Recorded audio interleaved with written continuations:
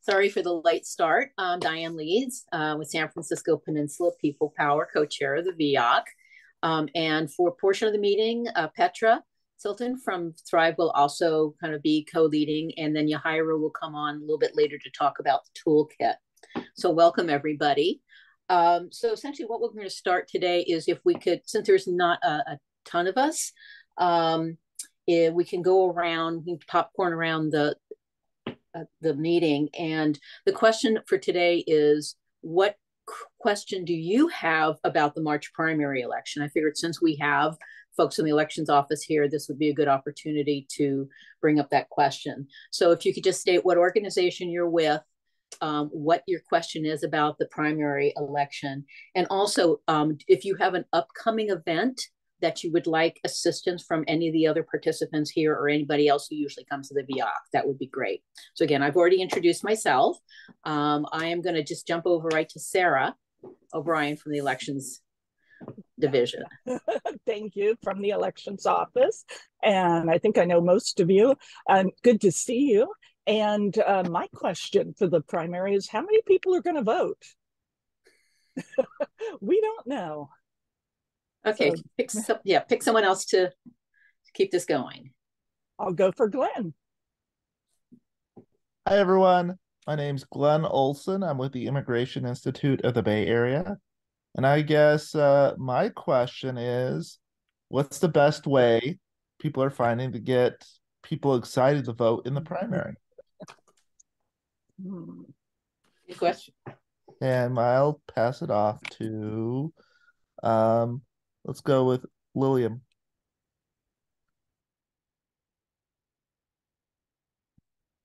Um, hello. Hi, uh, second harvest of uh, Silicon Valley. And actually, I have a question for Sarah. Uh, do you know when the county is gonna start sending the um, mail-in ballots? I know that on the schedule you have that the, all the ballots need to be sent by uh, February 5th. I think, yeah. But um, do you have like the exact day when the county is going to start sending out the ballots? We usually mail them on the deadline, which is February 5th, oh, 20, okay. 29 days before. But it's it'll come very close. Sometimes we find out from the printer uh, that they can get there a few days early, um, but we can't promise that yet. So, okay. so, if, so um, if people could just state your questions, I'm writing them down, and this I'll make sure that Sarah answers them during her portion of the of the meeting. Okay.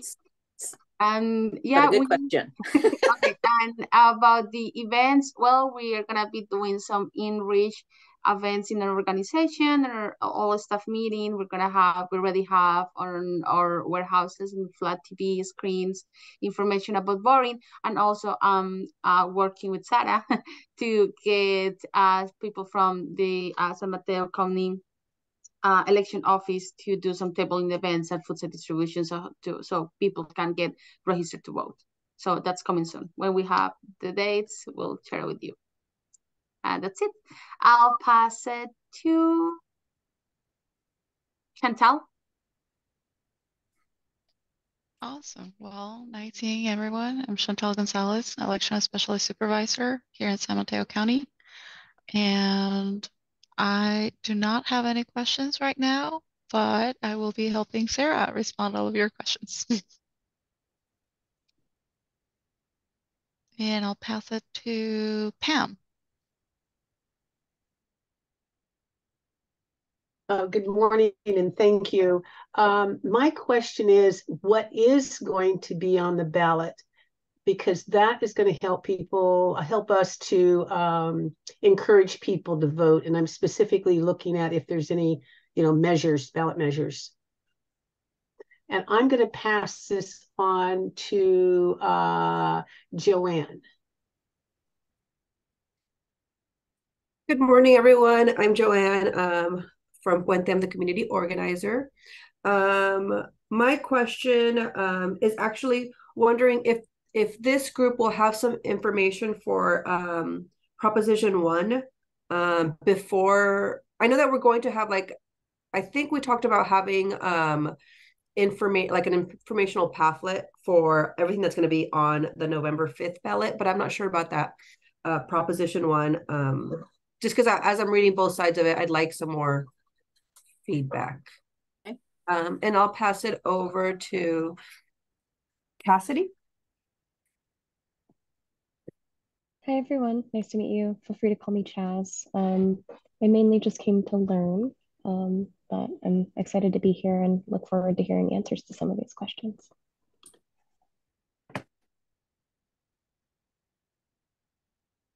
Um, May, have you gone yet? Can I pass it over? Sure, thank you. I'm Mai. I use she, her pronouns. I'm a community health planner with San Mateo County Health. And um, I just want to know more about what's on the ballot for March. Um, I know that there's the the primaries for the uh, president and the governorship, but I don't know if there's anything else on it. So I feel like I should know these basic facts.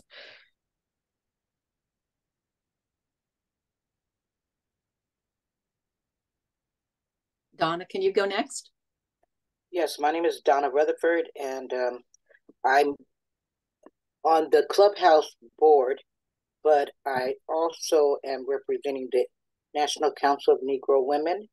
And uh, my question is, as a, I applied for a poll worker position, and I did the application and got a survey, but I didn't get an interview uh, date.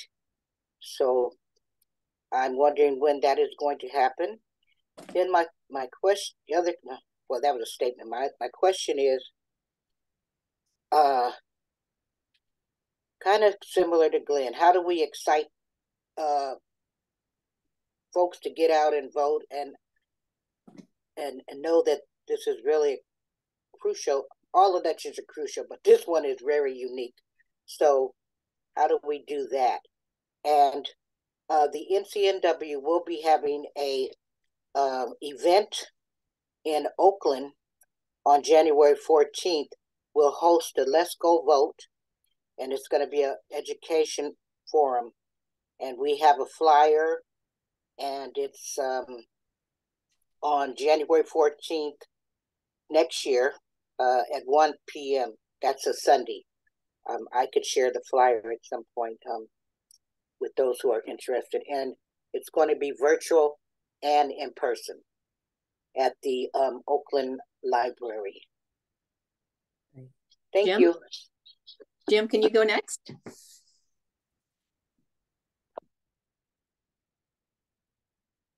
Hopefully you can hear me. Mhm. Good morning, everyone. Uh, Jim Irizarry here.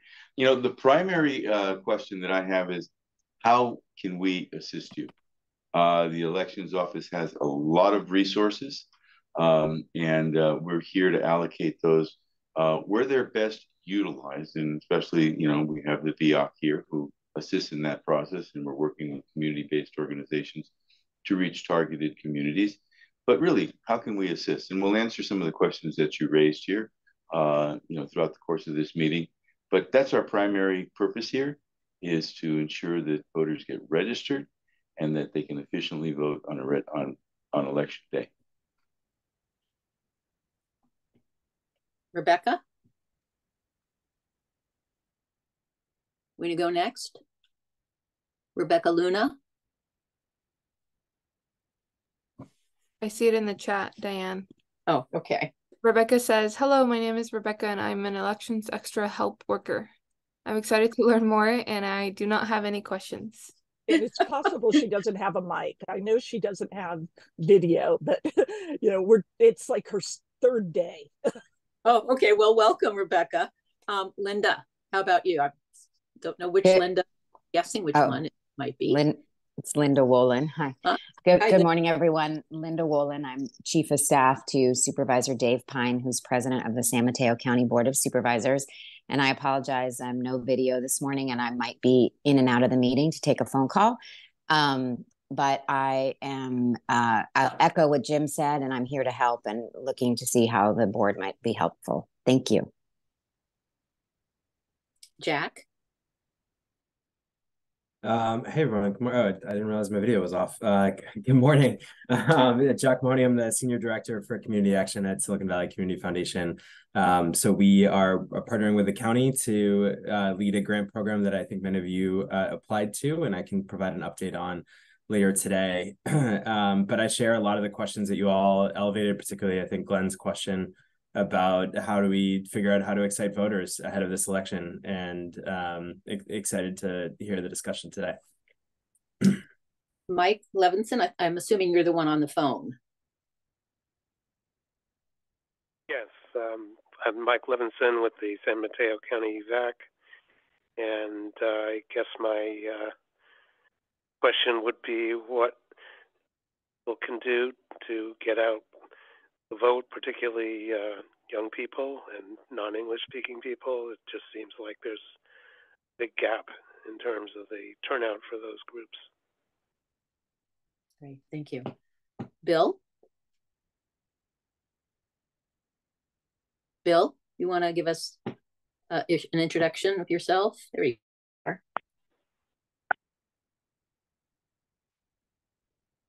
You're still on mute.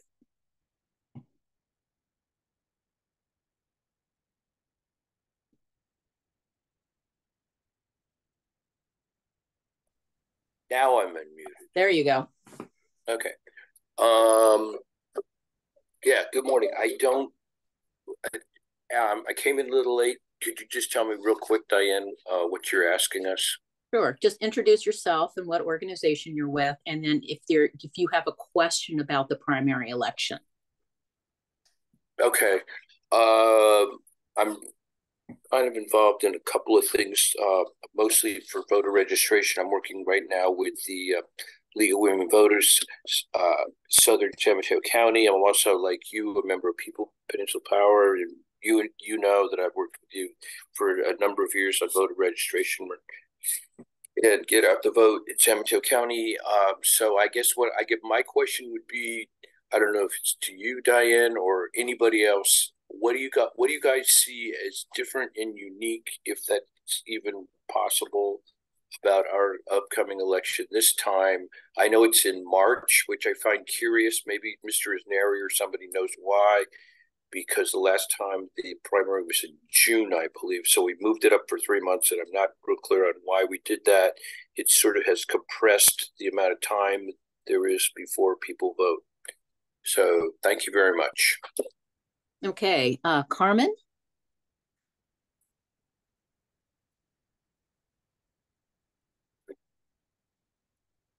Carmen, are you there? I'm here. I'm trying to get myself unmuted. I have, uh, let me get the camera going just to say okay. hello. Good, good morning, everyone. Um, my name is Carmen Torres, and I'm uh, from Siren and we're an immigrant rights organization uh, that we serve the immigrant community of the Bay Area and in Fresno. And the reason that I'm here, I don't really have any questions, or maybe I have too many, but I just want to learn about how to get our community engaged for the election, especially as the gentleman just said that it's been moved up till March, so that we can better effectively do our job in getting them registered and voted voting. Good morning, everybody. Thank you, Carmen. Uh, Yahira, since you're here, do you have a question? And introduce yourself, please. Of course. Thank you, Diane. Um, hi, everyone. My name is Yahira Ortega, and I work with Thrive Alliance.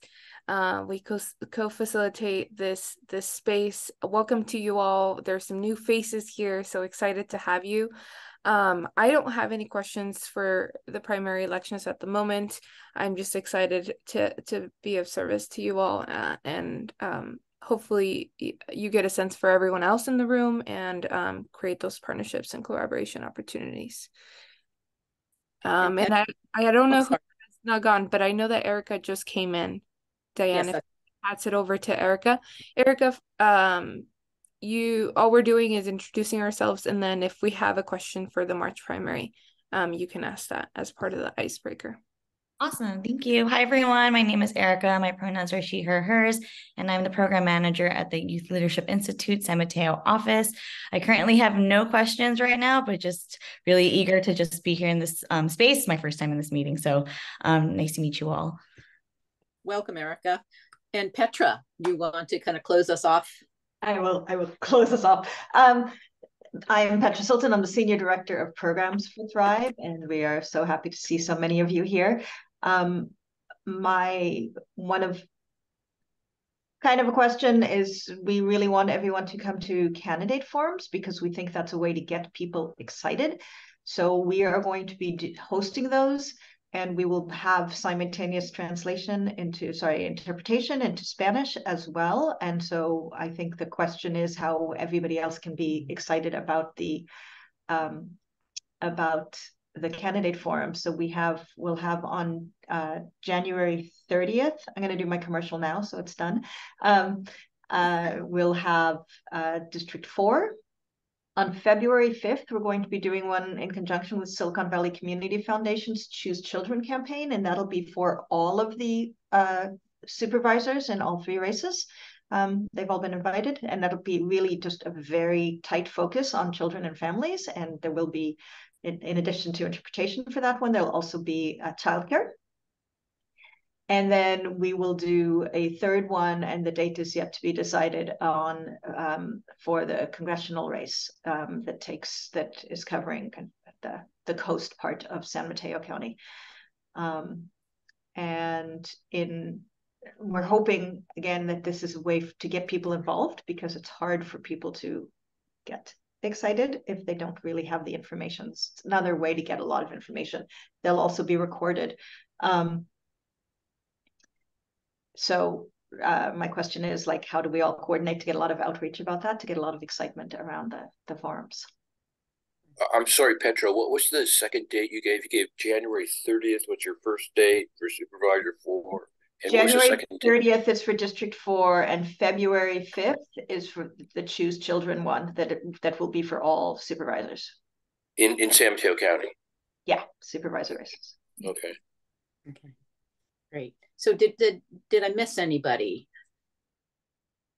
If not, I'll turn it over to Jimmy Irizarry to start, and then Sarah, or, or Sarah, do you want to start first? I'll always let Jim go first. Uh, thank you, Sarah. Um, and it's a pleasure to be here uh, with everyone today. Yes, it is a very, very busy election season for us right now. Uh, we're preparing for the uh, March primary election, uh, which is a presidential election. And uh, to answer the question, why is it in March? Uh, well, in the infinite wisdom of the state legislature several years ago, and, and I'm not saying this facetiously, I'm just basically saying that it, there's there's good points and bad points regarding the March election.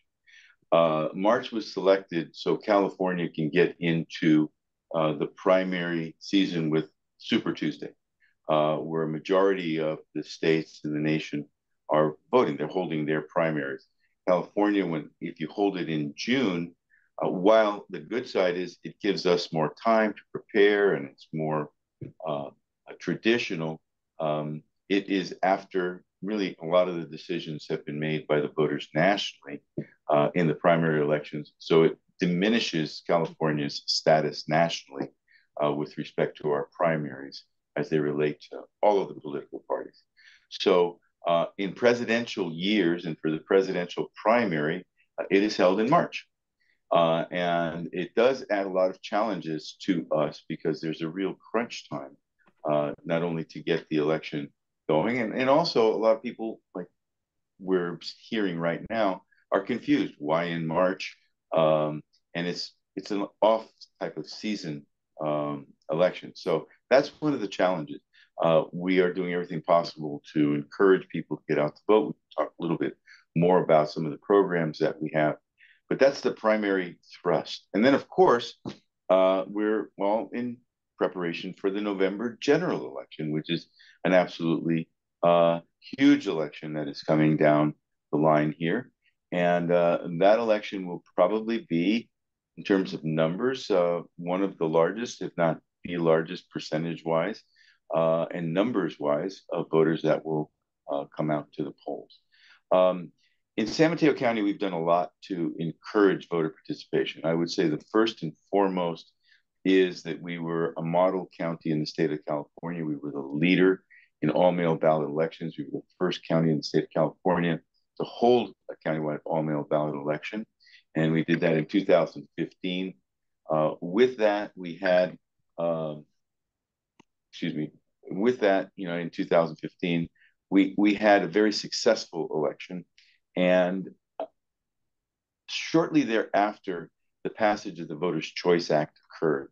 And in many respects, it occurred because of the success of the 2015 all-mail ballot election in San Mateo County. Uh, at that point in time, there was only five counties that participated in the Voters' Choice Act. Less than 10% of the people, voters in the state of California, were voting by mail. Uh, and a few years after, and even now, you'll see over 50% of California voters are now voting by mail. And with recent legislative changes, 100% will be voting. They're not all Voters' Choice Act counties, but San Mateo County took the leadership to make voting easy and convenient. And how do we make it vote easy and convenient? Well, first of all, is every registered voter gets a ballot in the mail. And you'll get that 29 days before the election. Second of all, is our election model, our infrastructure. We moved from a traditional precinct uh, environment, a precinct model, uh, where we had 205 precincts, and you can only vote in those precinct polling places at that time, to a vote center model, uh, where this election will we will have somewhere in the neighborhood of around 45 vote centers, 46 vote centers, 49 total if you take into consideration our mobile vote centers uh, and our pop-up vote centers, which again open, three of them open 30 days before the election uh, in North Central and South County, and then the other vote centers start opening 10 and four days before the election. Vote centers are there primarily to assist voters with any questions and to understand the process. By far and away, the preferred method of voting in San Mateo County is by mail. Uh, we'll see 94, 95, 96% of the ballots cast are vote by mail ballots. So those ballots will be in the hands of the voters, as we mentioned. We'll start mailing them 29 days before the election, and uh, we will accept them all the way through election day, uh, midnight, and then seven days thereafter. So we've got to E plus seven, uh, but it has to be postmarked on election day at midnight. Um, so the, the process is one that's very inclusive. Part of it is our voter education and outreach program of which the VEOAC was established uh, under the direction of our uh, registrar of voters, Mark Church, uh, and the board. Uh, but this is a uh, an appointed board uh, for the purpose solely of providing voter education and outreach to our voters. And it has been extremely successful. It too is also a model in the state of California.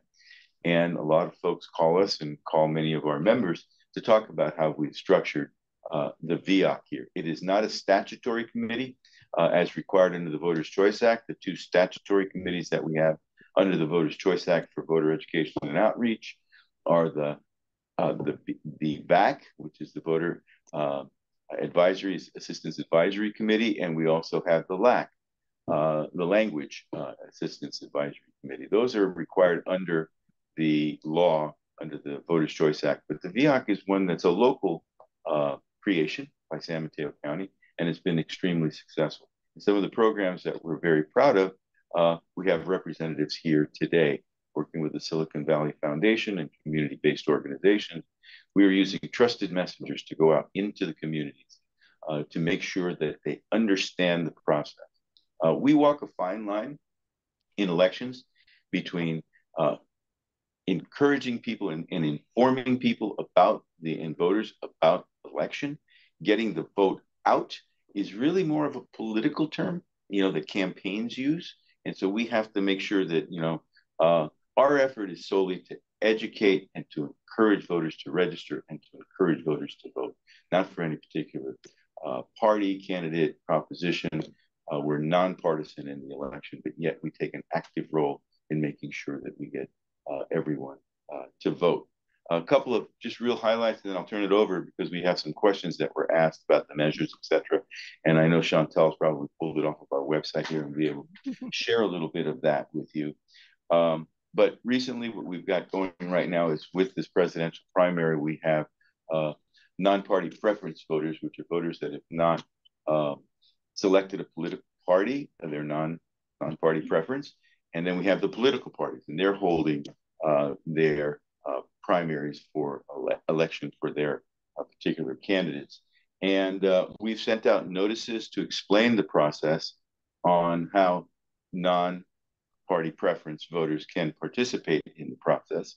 Uh, we basically have, um, you know, the the Democratic Party and the Green Party allow non-party preference voters to participate in their election, uh, and but the Republican Party does not. So if you want to wish, if you want to vote in the Republican Party primary, you have to actually change your party uh, preference to Republican. The other ones allow NPP voters to actually uh, fill out a card and let us know, and they will be able to participate in those other party primaries. This uh, notice is going out. In fact, some of it, I believe, some cards have already gone out.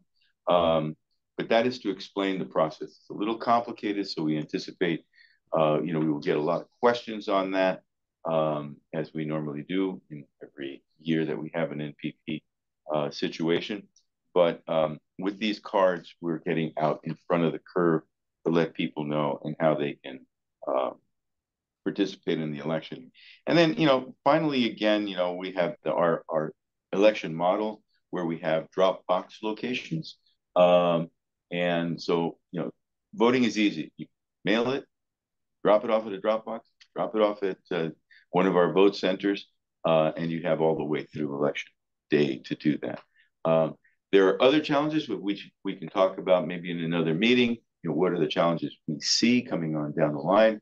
And in a nutshell, um, it's mis and disinformation and activities that are occurring at the cyber level and occurring at the physical level uh, that pose a seriously a concern to election workers and our operations. Uh, there's a lot of threats out there. Uh, we're really at the front line of that. We're actively involved with the Department of Homeland Security, with our ISD, uh, and with law enforcement and the FBI to monitor all of that activity that's coming on down the line. And we anticipate we will see a very heightened level of uh, mis and disinformation, particularly with the advent of uh, artificial intelligence. So that we can spend some time on down the line. That just gives you an overview of uh, what we're doing here at the elections office. And maybe Chantal, you can talk a little bit about what measures are uh, on uh, on the ballot, people. Of course, uh, I will be sharing my screen.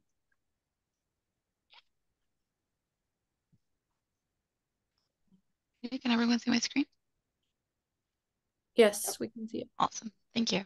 So this is our website, um, and I can walk you through the website if you need help. So just let me know. Uh, this is under the current election. You could see the calendar, uh, register to vote, and any of the election information, including the crossover ballot application. And that is what um, Mr. Irizarry was talking about uh, related to the NPP voters. Um, following that, we do have the Candidate Guide, the roster of candidates, which is updated daily. And um, following for that, we have the measures. Currently, we have four school district measures and one county measure. Um, regarding the question about Proposition 1, Proposition 1 is a state measure, and that will be in the March 2024 ballot. Um, so yeah, if you go to our website, you can click at any of those measures and see uh, the full text that you can review. Everything is public information. Um, and as, as I mentioned, these are some of the offices that will be appearing in our ballot for March 2024. This is our candidate guide. It is also available here on this site.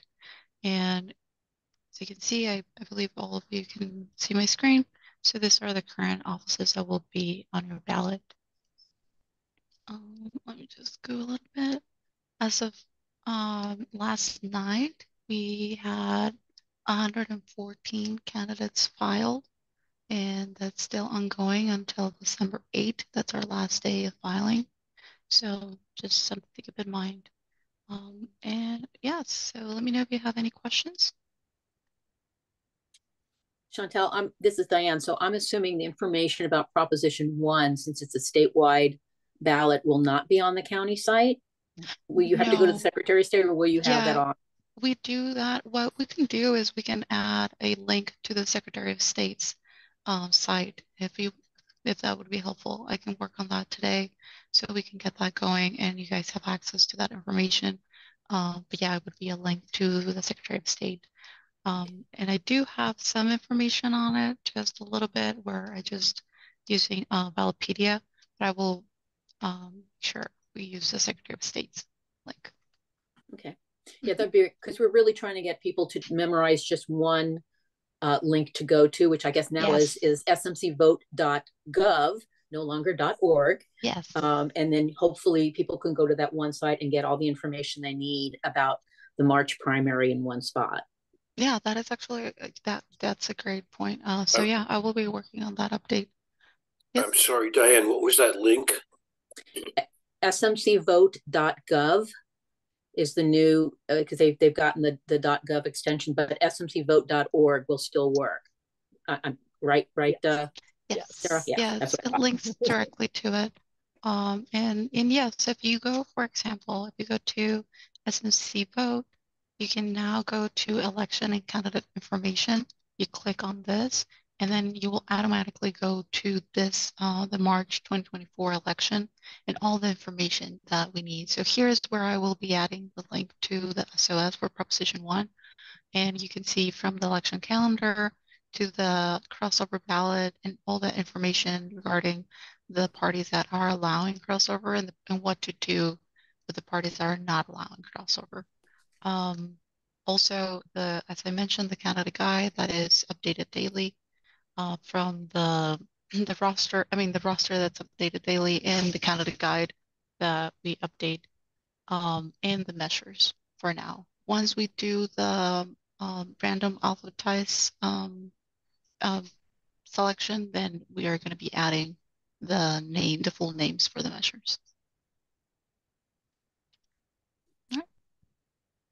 So, so Sarah, there, someone was asking hang on a second. Um, so there was a question in the chat about whether there will be a QR code that that that has the link to the website on, and, and I'm assuming that's what's going to you're going to start printing on all the, the materials. Again, this is a question probably for Sarah. And let's see. You're, you're muted, on, Sarah. Yeah. Once uh, Jim and Chantel are done, I I'll show you pictures of all the materials with the QR codes. Right. Any other questions for Chantel or anything else that you, you need to cover for us? Yeah, I wasn't clear on why. I think Diane, you said it or she just said it that SM or I'm sorry, Prop One is not on the ballot. Is that what you said, or what did you say? No, I was just asking about access to information about Proposition 1, whether that would be on the county website. And we've just heard that, yes, there will be a link put on the county website to the Secretary of State's website, since it's a statewide proposition. Okay. Okay. Thank you. Sure. I guess at the last thing I just wanted to add, just for information, is um, the, you know, we are expecting to have 49 vote centers and 56 drop boxes official ballot drop boxes. That includes um, 14 of those will be indoor drop boxes and 46 will be outdoor drop boxes. So just a little bit more information has been updated. And yeah, I'll move on to Sarah. Go for it. Great, thank you. I know a lot of you do uh, voter registration, so I want to mention a couple things important uh, to keep in mind. At least I to I think it might be something you want to keep in mind. Uh, let's see here, my little notes. If you're registering people and they're registering as no party preference, uh, let them know they need to pick a ballot if they want presidential candidates. Otherwise, they get a nonpartisan, excuse me, a nonpartisan ballot. Um, they can register and then go to our website to get the crossover ballot form. You might want to have the crossover ballot form with you um, if you're registering people. So I wanted to mention that. Um, people, there are only certain parties that allow you to cross over. so you need to re-register if you want to vote for presidential candidates in other parties, such as the Republican Party. Uh, and again, all that info is available online. I'll try coffee here. and districts with Board of Supervisor races, yeah, unlike the state and federal contest, those Board of Supervisors may be elected during the primary uh, if they get, if one of the candidates gets 50% plus one vote. So that's something important to, it doesn't work that way for president. It doesn't work that way for any other offices other than county offices. And on registering, I want to mention try to get people to fill out the optional information, at least two things. One is to include either an email or a phone number. Um, so our office can reach you if you, there's like a problem on your signature or something. We get things without signatures at times. So we want to be able to reach you more quickly than the mail, though we'll double up if we have your phone number, we'll still mail something. Um, also in the optional information is language. People can select the language they want to receive their election materials. So I really want to encourage that people do that. They don't realize they can get things in other languages. And finally, people need to re-register if they move, change their name, or of course, if they want to change parties. So those are some of my registration tips. Um, now I'd like to share my screen and I'll show you some of the materials that we're working with. Let's see. Now, share. Let's see here. Hopefully, you are seeing the no party preference uh, postcard, well, form that went out in the mail. It's not really a postcard because it was a fold over. This is what Jim was talking about. It began mailing November 17th. Um, here's where we had the address on the first corner. Um, then inside it explains about choices people have um, as non-party preference voters, which we have what approximately 104,000 people are no party preference. So that about a quarter of our voters here.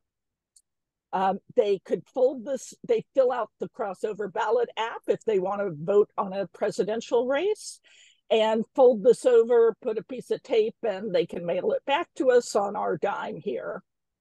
Let's see. Will my screen change easily? There we go. Uh, we also started around Thanksgiving a register to vote postcard mailing. And that too went out to about 100,000 households. Uh, the households were mainly Daly City area and East Palo Alto, Redwood City, Menlo Park areas. Um, it had the information about registering to vote uh, in five different languages. Um, it goes to households, it doesn't go to particular individuals. It went out via the post office every day direct mail. It's sort of like a Safeway ad. It doesn't go to someone specific, it goes in your mailbox if you're in that route that we selected. Um, also, things in December, we sent out to the schools information about the Student Democracy Program. And if any of you need any of these materials, of course, let, let us know. But here's one on Student Democracy Program for high school students.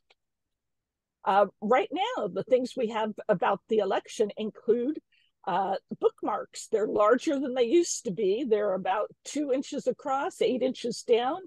And that has a lot to do with because we wanted to add info about if you're registered as a no party preference person. Um, so we we have our post um, our bookmarks ready.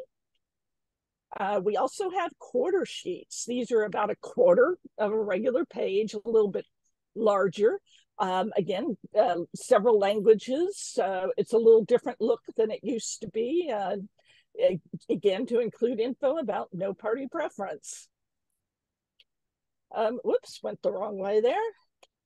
Here we go. We also have flyers right now.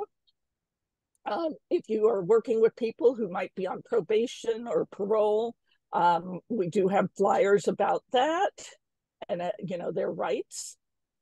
We have unhoused voting information in several languages.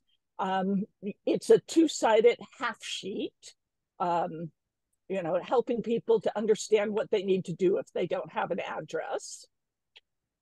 Um, we also have uh, flyers to uh, let people know about our jobs and our volunteer recruitment.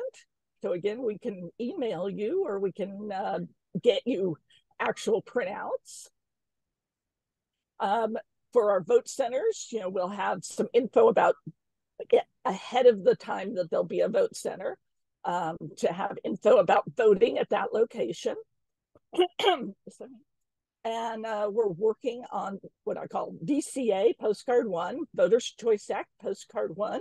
It'll go out to all registered voters, um, giving the basics. Uh, there will be two versions likely. We've done this before where the non no party preference people again they get a, a separate message at the bottom saying you know if you want to vote for a presidential candidate you need to make a selection or change parties um, so the one that if you have a party, if you've registered, your postcard will be a little less dense. Um, we're working with the VAC on an accessible voting options uh, card. And soon we'll have our vote center Dropbox location flyers, working on our updating our animated videos also because we needed to get .gov and we also wanted to include the QR code.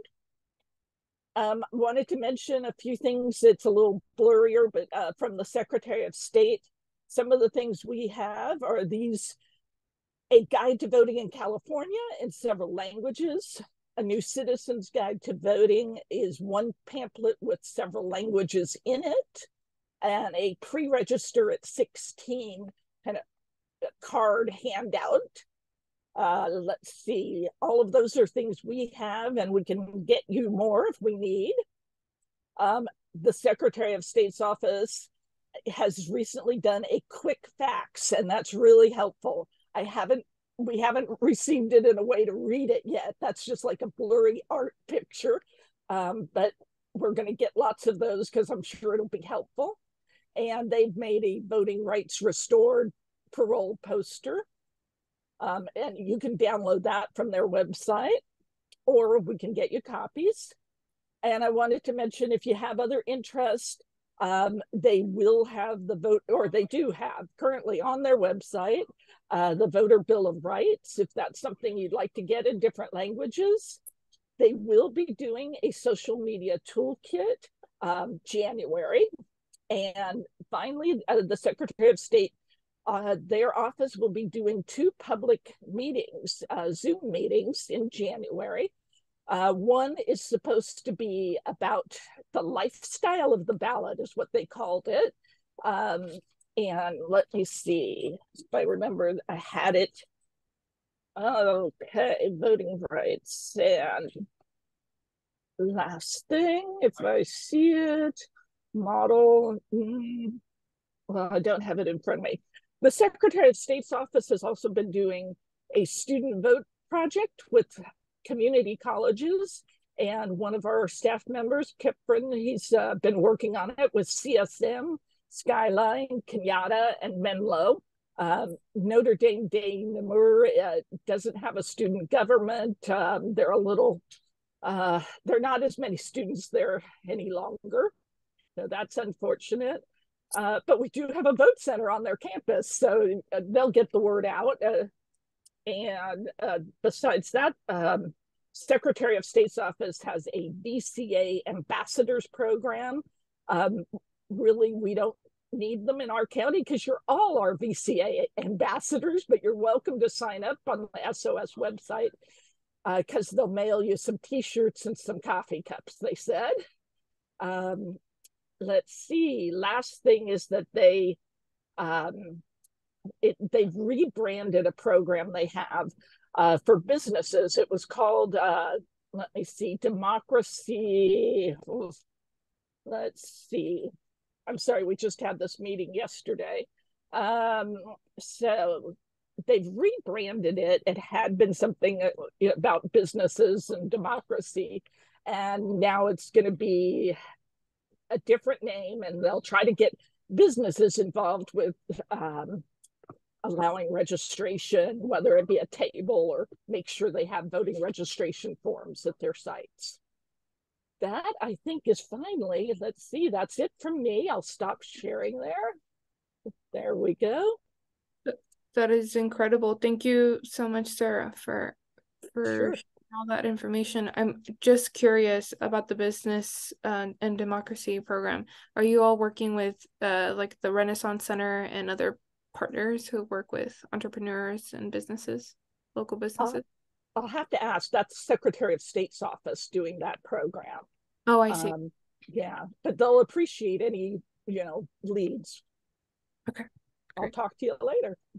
Okay. Well, before you go, Sarah, um, there, there, I know you had a question for me regarding what additional languages uh, would be helpful to have in terms of doing voter outreach, and I suggested talking to the folks that are actually doing the voter outreach. So, based on what you've seen so far, if if you have any other ideas in terms of what other languages would be helpful in your communities, um, you can either you know you can either put them in the chat or send an email to to Sarah um, and so that you can see whether or not that's something that the county can do.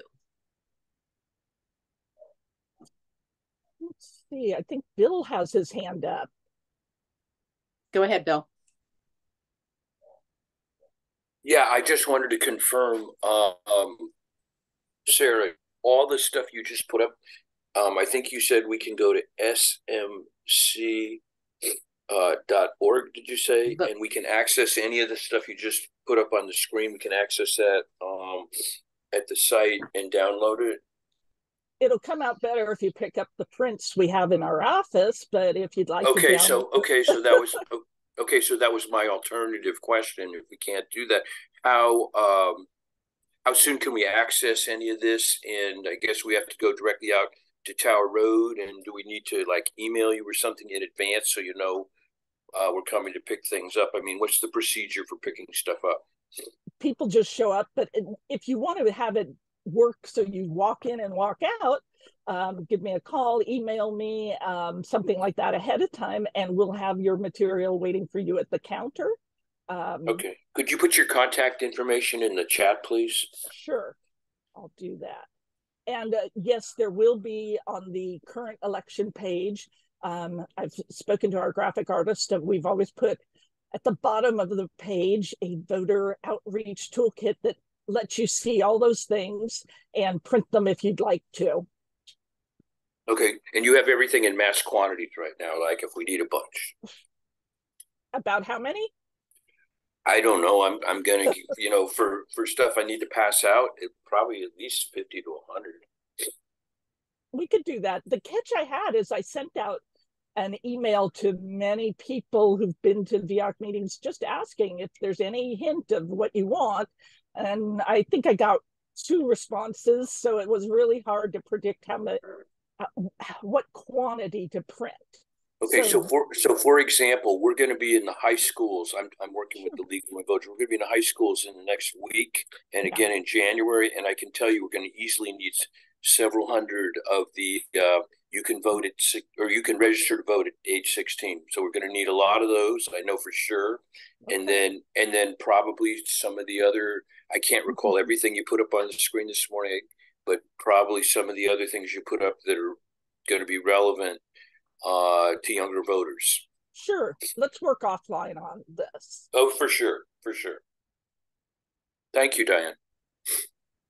Thank you, Sarah. Any any other questions? So again, if if you didn't see a language that you feel would be very useful to have uh, in doing your voter outreach, make sure you shoot an email to Sarah so that you can put it in and look at whether there's there's funds to do that. Because again, I figure you you folks have the better idea as to what's needed to get to your communities. Okay, um, any other questions for the elections office? And, and Tom, I'm sorry, I forgot to have you introduce yourself. So you want to do that right now? I, I realized I kind of missed you. Good morning. I, I'm also election specialist supervisor working at uh, Tower Road with Chantel.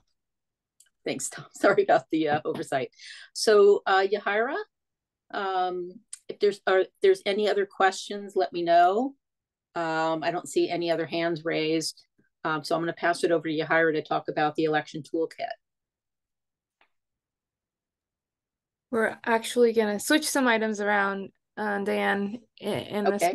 Let's go with the voter outreach grant. So folks get, I'm looking at the time. Okay.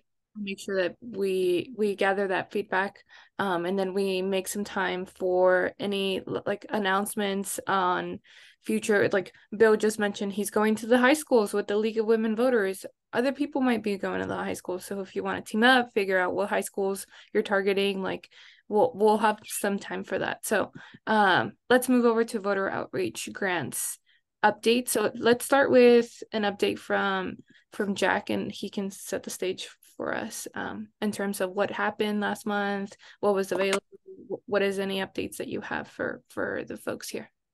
Yeah, thanks, Yara. Um, so just to catch everyone up, uh, you know, I, am sure you're all aware, but we have partnered with the county. This is the sixth election that we've actually done this partnership, and so it's it's uh, I think a pretty good operation at this point um, uh, that we have with the the county department of elections but um, the way that it works is that the county sets aside some of its voter education outreach budget and then enters into a contract with silicon valley community foundation for us to distribute the funding out to nonprofit organizations. And so many of you saw and in fact many of you applied to the rfp that we opened last month um, and closed last month uh, as well on the 21st. And thank you to all of you that did submit an application. We realized it was a tight uh, window to apply and, and really appreciate uh, your willingness and readiness to submit that application.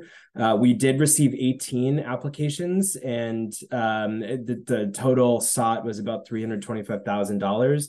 Um, and we're close to being able to let folks know how much you'll be getting of the application that you submitted.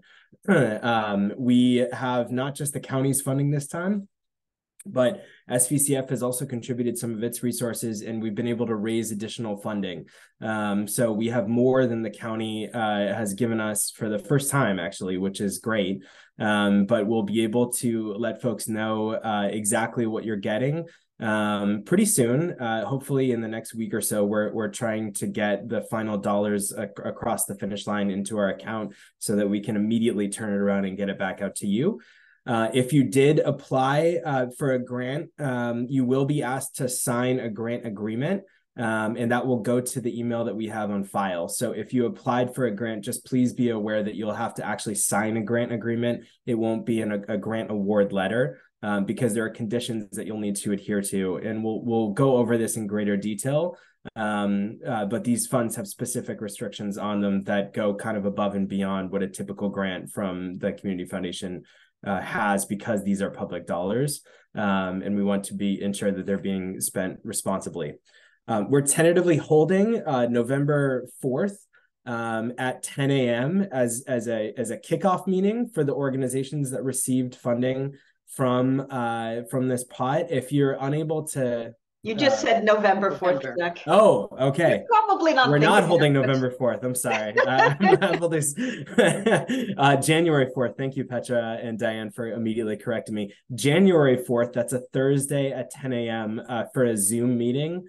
Um, and so we're, we uh, discussed that and are holding that as a time with the county um, to try to do it after the Christmas and New Year holiday. Um, recognizing not everyone's back that week, uh, you know, we will record that session. Um, we might move it back another week, but please, if you did apply for funding, hold that time. Again, that's Thursday, uh, January 4th.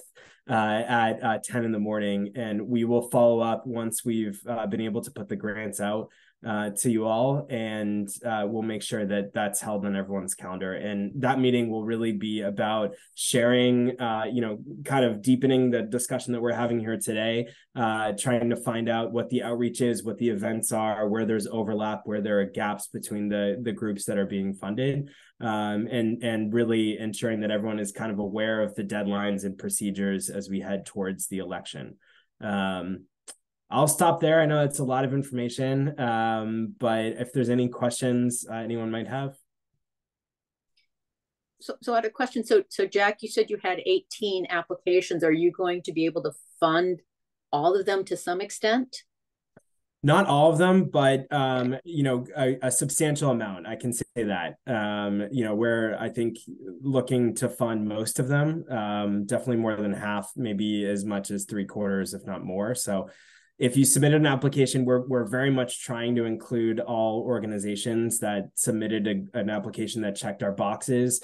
You know, we really were looking to see if an organization had an existing presence in San Mateo County. Um, and, uh, you know, nearly everyone met that. And so, and we're reaching out to the precincts, uh, you know, where there's, there's a, a history of, um, participation voter participation that's lower than the the countywide average um, and most of the organizations, I'm pleased to say, met that basic criteria. You know, have a presence in the county and were and had a specific plan to target the right areas and right populations.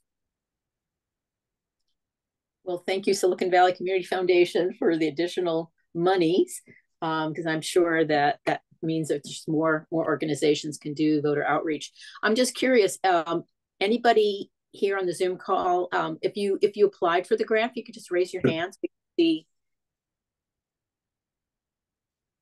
Okay, so I don't see it. Okay, you can use the Zoom settings as well. Yeah, I can't I can't tell on my screen who, what the total number is. I don't know if you could, Yahira. Um, it's easier when they put their hand on the Zoom. Oh, okay. It's a feature. If you scroll down to reactions, the the raise hand option is there. Okay.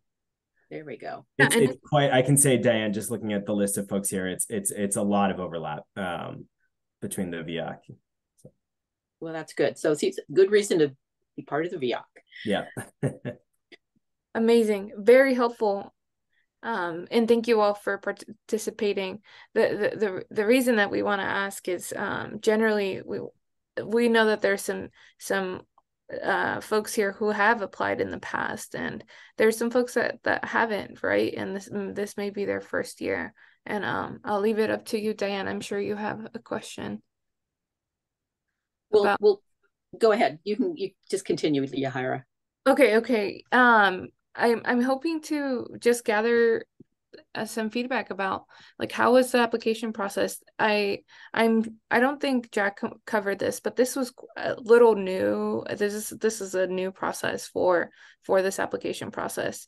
Um and and folks that have done it in the past in previous years it looks a little different compared to that. So we want to hear from you um, and being that most of you applied we want to know how was that application process? We have jack and and the elections office on the call so we're we're um, trying to create a space where we can have as much feedback and um, maybe there's some things that they can um, you know just change for for the next election. So um, I don't know if Lilium has her hand up for any comments, but it.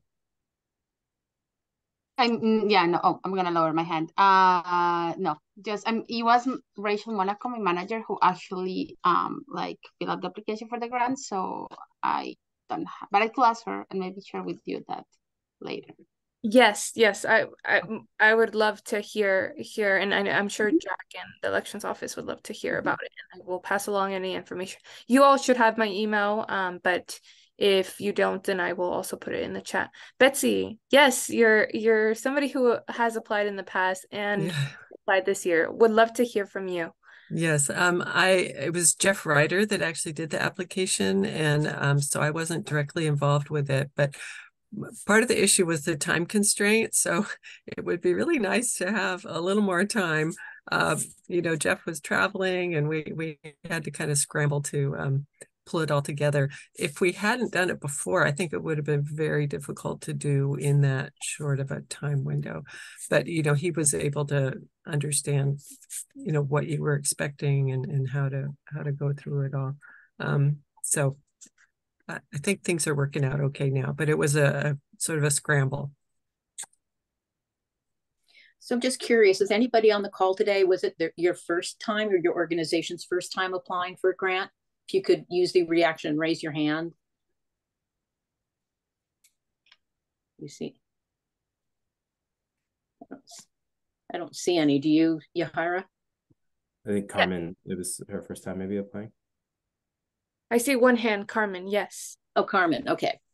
Hi, everyone. Um, I didn't actually do the application, but what I did was the proposal part, the plan of what we had to do, and um, he, my my my director, did the rest of it. But um, to me, it was fast. Uh, I will say that um, I happened to work really well. I mean, we did we did it like quick, like in a day. Um, but uh, maybe I know for other folks, it might it might be a little more daunting if they only have a very short time. But for us, we were able to get it with with uh, not a lot of difficulty.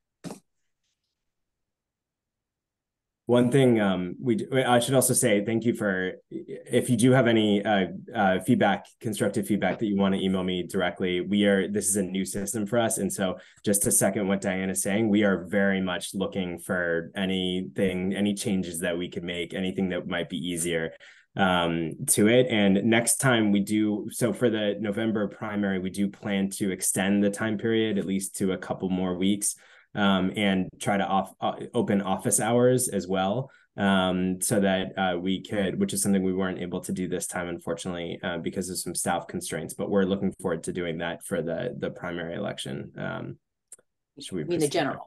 Yeah, sorry. Oh my gosh. I need I need a third coffee today, I guess. Um, um one one thing I also just completely, you know, separate to this, I do want to just share because I think you all are maybe interested in this, is that we've actually been and Jim, Jim, Travis, uh, Dunn, and I have been in conversation with folks from the Secretary of State's office, and there is interest statewide at taking this model, the San Mateo model, and expanding it to other counties um, really looking at what's been done here. You know, so there's a lot of um, interest at the state level about this, and there should be some hearings maybe in the new year focused on on kind of the ins and outs of this model and and taking the strengths here um, and getting other counties to engage in the way that San Mateo County has. Um, so I'll keep everyone appraised of those conversations as they develop. Um, and uh, I know folks would be interested to see this scale to other counties as well and maybe there would be some more money from the Secretary of State's office as well. Fingers crossed. Anything have, we need to cover, Yahira, on this topic?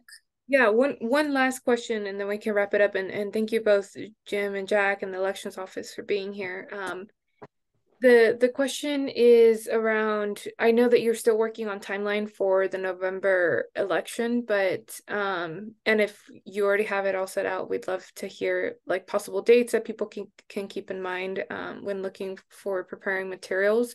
And uh, of course, you have the space in the future to come in and uh, give us any updates. Um so why don't you let us know where you are on the timeline if if we have if you have any dates for November in terms of like the the grants proposal that they, that folks have to prepare? Uh, right now, we are immersed uh, in the March primary process. We do have calendars that we develop, uh, and so they're very helpful. You can go online and you can see exactly what we're plotting out. Um, but all of those boxes have not been filled out for the November election.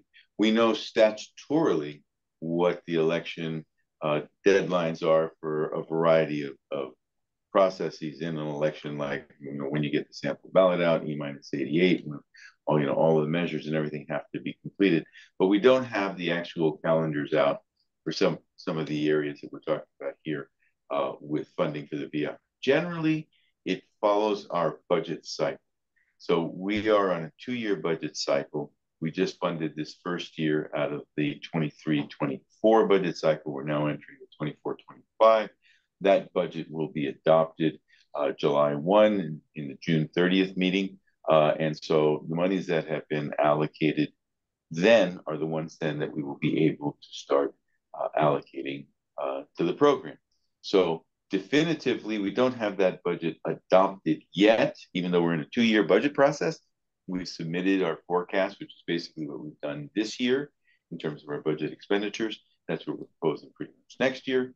Um, but that hasn't been formally approved until the adoption of the budget in June and July of 24. And that'll be for the 24 25. As soon as we do that, we'll keep you posted as to you know, the timelines we're talking. Yeah, that's helpful. Go ahead. That, that that that that's helpful for us to keep in mind and also um, let folks know that you know we're, the purpose of VEOAC is not only getting them involved in in this process but also making sure that people are civically involved throughout everything. So if people know okay the budget cycle is coming up the supervisors are looking at it um, then then we can put that information out there. Okay diane thank you. Yeah so, so basically the last the last thing i wanted to say is i know we, we bring this up every time um, with the the way the budget year is, is kind of breaks in the middle of the summer. Is there any creative way or anything we that can be done to maybe get the monies out earlier? Because you know july is is getting pretty close to november and i'm sure there's a lot of activities in the summertime. So if there's any creative way to um, either pre-fund activities or, or, or something that would that would be something that would be wonderful and I'm, I'm sure all the organizations would appreciate that as well uh, you know, we are fortunately or unfortunately locked into a budget cycle uh, that coincides with the county budget process. Um, on that's the negative side. On the positive side, we have earmarked the same amount of funds for next year. So mm-hmm. this is uh, a, an indirect or a direct way of saying that what we got this year will we'll have next year. But it has to be formally adopted by the board in order for those expenditures to occur and that's mm-hmm. by ordinance, by county charter. We're pretty much locked into that. But from a planning point of view, during our two-year budget process, we thought about next year. And uh, what we have here, and it's basically uh, what we have in all of our programs in our department, is a cost of living factor uh, that is allocated to our budget. So it's basically this year's expenditures plus a factor that are probably in the neighborhood around 2%. Uh, and so that's what we're looking at in terms of next year's allocation, which we can't spend until adopted by ordinance. But for planning purposes, I think you can pretty much go, uh, we can go on record right now that we've recommended uh, this funding level for next year.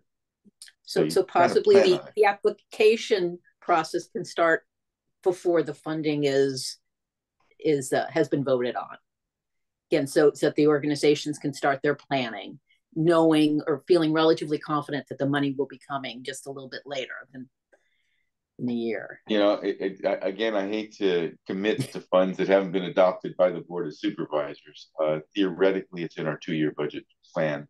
Um, I'll have to check with our, you know, higher ups to make sure that we can do something like that. But definitely by July one, we'll know and uh, and we can start the process as quickly as possible. Just want to make sure that we comply with the county ordinance and the county charter on on the allocation. Thanks, Jim. You're welcome. um, yeah. Yahira, do you want to move into the toolkit? Yeah. Documents. Okay. One second, I was just answering some questions on the chat. Yeah, because I'm looking at the time. yes, we are looking at the time. So thank you both, uh, elections office. Thank you, Jack, for all the updates. I'm I'm sure that uh, feedback will trickle in. You put your email in the chat, and if um, I will of course folks can bring bring some of that feedback and generally we also want to hear um like how it was the general process for you. So any feedback is helpful. Um let's move on to the toolkit let me pull up the toolkits. So um thrive alliance in collaboration with a couple other folks with with the funding of svcf and um grove and others, um, we have been able to create a, an elections education toolkit. And what it is, is uh, basically folks on the call ha- let me know that they're interested in receiving this toolkit. Um, and it's a it's a formal package that we hand deliver and um, it has a couple of materials in there it has some materials that the elections office puts out in combination with um, um, some of the materials that we create internally to at Thrive. And I'm going to share my screen. And please note that this is still in the works. I have received some emails of folks saying that they want the toolkit. Um, we are working on the final version. So it it will be out soon. Um, and let me just share with folks because some folks don't haven't been on this call before and may not know. So you'll receive something like this. It's a it's a sticker that says the last day to vote is Tuesday, March 5th, 2024. I voted, did you? And then some folks work with gener younger generation, so they they have a future voter sticker here. Um, we are still gathering feedback from our partners on on this brochure, but every nonprofit that is interested in election toolkits will let me know that they want this trifold brochure and we can add your logo. Um, another suggestion that folks had was um, if they could personalize it and add some photos um, to the election toolkit of real life people in the community. And yes i am open to that. You have real life photos of your community members doing some of these things. I don't know how you would get a photo of inside the the voting the voting uh, centers but if you have real life photos of people interacting around elections let me know. I'd love to see them. I'd love to add them to the toolkit. It would be a fun twist to it. Um, and also, if you're part of the election toolkit, uh, I, I, may have said this, but we add your logo and um, to the toolkit, so it's a co-branded effort, so that when you're delivering it to your community members, um, it's an opportunity for them to know, um, for them to feel like this is coming from you, a trusted messenger, um, and the the brochure covers like why it's important to vote. It has some information on the primary election um, how people can vote, what are the different ways, which also needs to be updated, um, voting plan and the dates, important dates. Lot, some folks get, you know, there's sometimes confusion, confusion, um, and not everyone has the same information about who can vote. So everything you need is in this toolkit, and it, should be um, pretty easy to understand. And if you have any questions or any feedback for for this toolkit let me know i'm implementing that as we speak and and as you you can tell we're fans of qr codes so we have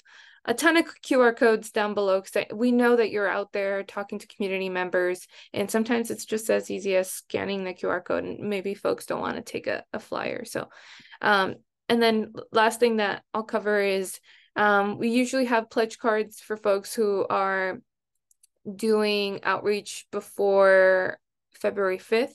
And um, if folks want to commit to voting, these need to be updated, of course, but um, if that's that's still available. All these materials are available in other languages. You just have to work with me and let me know in advance what what kind of language you will need and, and how many. Um, and we will create a personalized uh, toolkit for you. Um, so and uh, one thing i did not mention is um, we offer a small stipend to folks who are interested in the toolkit um, and those who qualify for the stipend but we also have toolkit for folks that don't qualify for the stipend so keep letting me know if you want to be in the elections toolkit um, part of that effort. Um, and a good date to put down on your calendar is that January 17th, we'll be hosting the Election Education Toolkit, where we're featuring our partner, uh, YLI. And I thought she was on the call, but maybe not. Andrea will, we will co-create a space where we'll go over toolkit materials, um, answer any questions. Oh, Andrea's on the call. Awesome. Um, and she has offered very kindly to share all her wizard tech on how to create a, a flyer on Canva. Um, Andrea is is somebody who works with youth uh, at the Youth Leadership Council. Is it council? I may have gotten your name wrong. Andrea, you can introduce yourself, but she knows a lot about what is young and hip. And so she'll be coming in and showing us a, a few of her tips and tricks that she's um, that she's implemented in the past for some elections. So if you're interested in learning any of that, January 17th, um, it'll be in the morning, 9:30 to 11, and it'll be a space like this, but more more focused on the actual materials and and some tips and tricks and best practices um, to do outreach. Will there be a folder? Okay, I see. Uh, will there be a folder again for people to add materials, their orgs, and open to sharing? Yes there's going to be a folder. You all have your own incredible materials.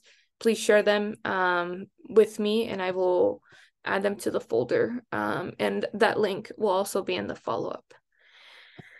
So I think I've covered everything. Is there any other questions about the toolkit, the training on January 17th? Um, all that information will be in the follow-up to this to this meeting. Yeah, Yahira, did you tell us like around when the toolkit will be done or will be ready? Yeah, it will. Be, I mean, obviously, it will be ready by January seventeenth. Um, you will all. The goal is to get it to you before February fifth. So okay. the Thrive team will work very hard to get it all together. And the Thrive team, I mean, Petra and I will assemble toolkits with the help of um, the materials from the elections office, and hopefully Diane can help us as well we'll create personalized toolkits that um, we can either hand deliver or you can pick up. Um, we haven't decided that, but before January, before your February 5th, you should all have the toolkits. Does that sound good? Any other questions? Um, will there be um, information on the proposition that's going to be on March 5th in that toolkit? Do we expect that? Like, yes. Proposition um on talking the about proposition one. Yeah.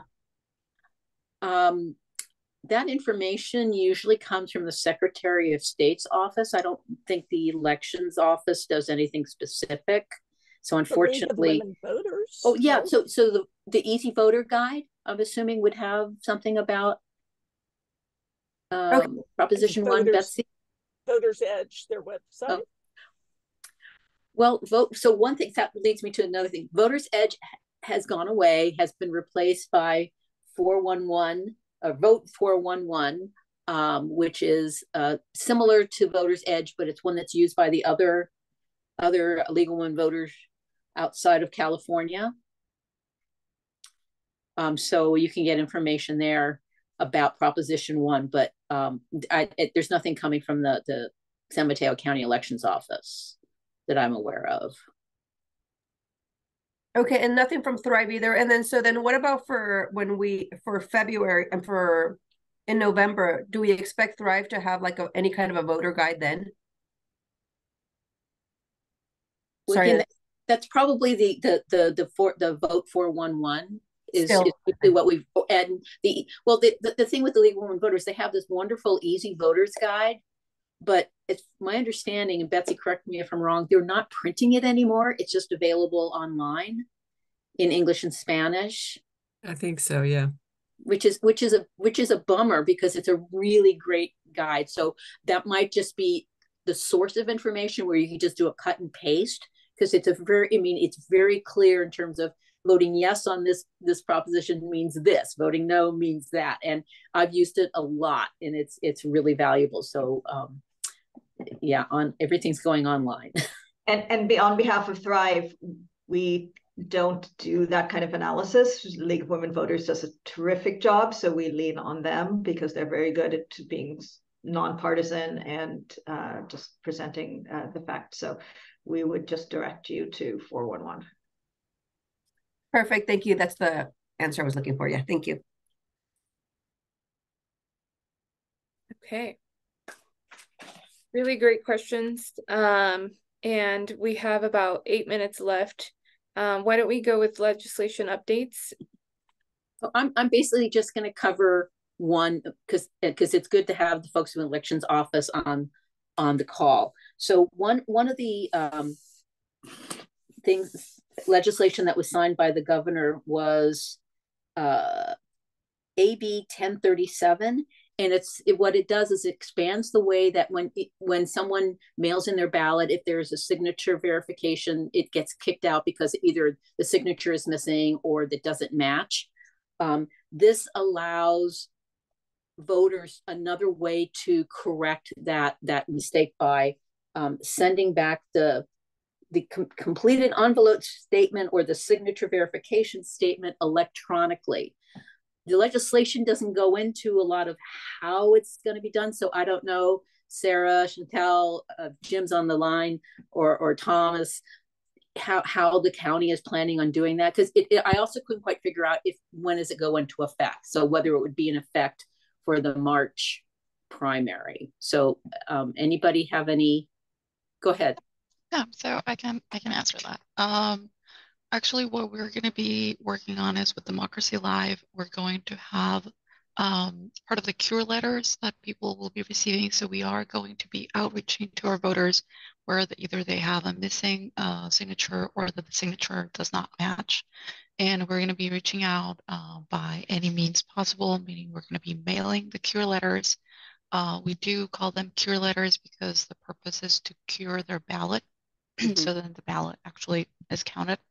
Um, and we are going to be in that letter also where if if the voter um, has the email address in our system, then they will also be receiving an email with the link to either re, uh, return the form to us a cure letter with the form. Usually, for example, if it's uh, missing a signature, that is the oath, the statement they need to uh, sign and return to us. But now they can actually go into the Democracy Live suite, and that is the system that we use for um, the UOCAVA and the RAVBM system. So it is under the same vendor, it is the same system. It is a very, very secure system, and they will have one individual link that will take them to their own form. They will fill out the form and they can either print it and mail that, or they can actually send it to us via that same system just with a little click, and then we will receive that email with the curing process.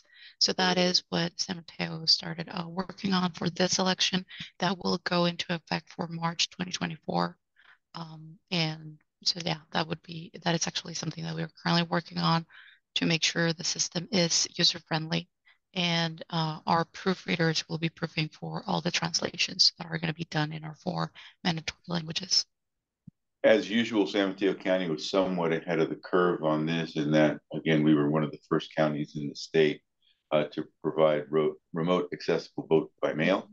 And Democracy Live is our vendor that put together that system.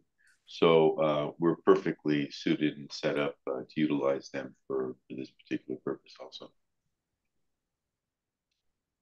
Okay um, that was probably the most important piece of legislation that I wanted to cover. Again, given given the time, we have five minutes. Um, does anyone have any announcements that they haven't already brought up about any voter outreach events that they're going to be holding, especially if they could use any assistance from other organizations? Just raise your hand and and hopefully Yahira can see. I I can't see everybody on my screen at once, so. Lillian, I see Lillian. Yeah, now that you uh, mentioned that, that's a question that I have from you. So um, in this case for Sarah. So we have uh, some people that is interested on kind of vol volunteer with us. I mean, as an organization, Second Harvest, to uh, with our work that we're doing to uh, with voter outreach. So basically, uh, we uh, some people in, in, in an organization reach out to our department asking us if we are or we can connect these volunteers with the election office so they can come and volunteer on the type events that they will be doing. Is something that, uh, yeah? Yes. Yeah. Okay. Please. Okay, then I'll I'll I'll, I'll send you an email. right, thank you. okay. Also, and, um, for just for everyone's awareness, if you right now this election, I think the complicated part about the primary is understanding the NPP voting and the crossover voting. So please do not hesitate to contact us if you need any information or any sort of explanation, just to make sure there's no misinformation uh, and the voters understand as best as possible. Mm -hmm. Okay. Um, well, I think that's um, it for today's meeting. So our next meeting is January 17th. I'm not sure if it's going to be virtual or in person. Uh, but if we don't talk to you before the end of the year, everyone have happy holidays, whichever holiday you're celebrating. Happy New Year. Um, happy getting voters out to vote and getting more people registered. Um, thank you so much for for everything you folks have done this year and years previous. So, yeah. thank you. Thank you. Bye. Bye bye.